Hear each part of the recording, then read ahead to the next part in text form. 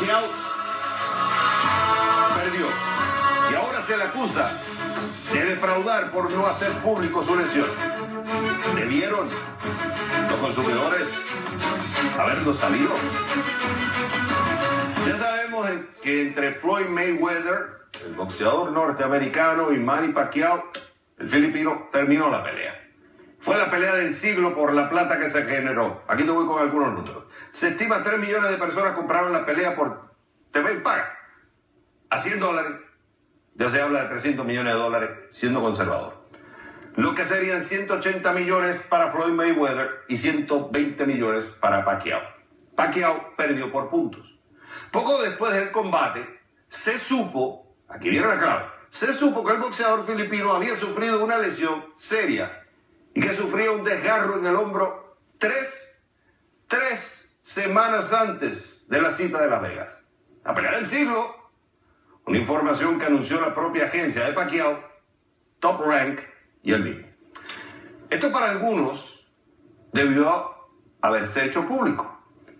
Ellos se hicieron millones y otros se sintieron defraudados y ahora la llaman el fraude del siglo. Aquí entran dos individuos que viven en Las Vegas donde entablan una demanda colectiva el martes 5 de mayo en contra de Pacquiao, su manager y sus promotores, por al menos 5 millones de dólares. Los demandantes alegan que se sienten defraudados por el boxeador no reveló que sufría una lesión en un hombro antes de su encuentro. Un abogado de los demandados dijo que a la cadena deportiva ESPN que la demanda es una tontería. Ok, aquí entra el debate. Para Pacquiao y sus promotores, lo que en inglés se llama, tú lo has escuchado, Dario, el Cash 22, el dilema sin salida. Si tomas una decisión de anunciarla que tienes una elección, te van a dar con palo, porque te van a decir, no, tienes que pelear. Entonces, si no la anuncias, ya tú estás viendo, también te están dando con palo. Ahora, la pregunta que yo te hago, Dario, ¿debieron saber los consumidores que el producto que iban a comprar estaba en malas condiciones antes de comprarlo?